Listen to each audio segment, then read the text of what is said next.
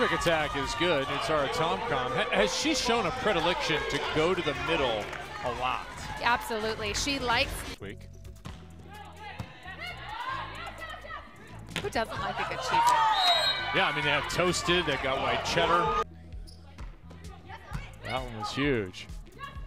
Backslide Bastianelli in.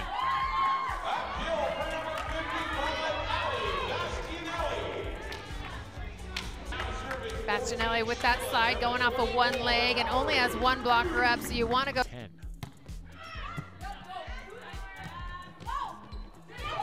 Furcano with the defense.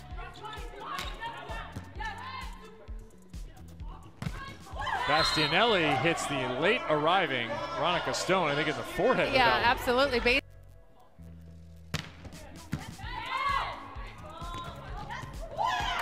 Bas- Bastianelli finally gets the side out there, but not before a ton of damage done.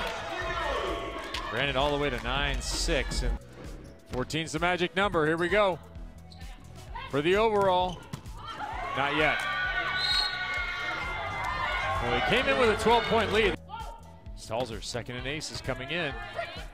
Almost had one.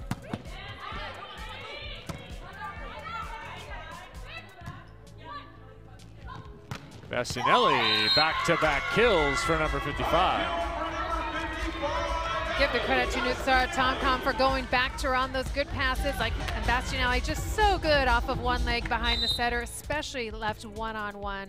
Hard for Stone to close that gap. All about Shayla Castro. We'll be doing it all weekend as you enjoy coverage. Outside, big high swing, dug over.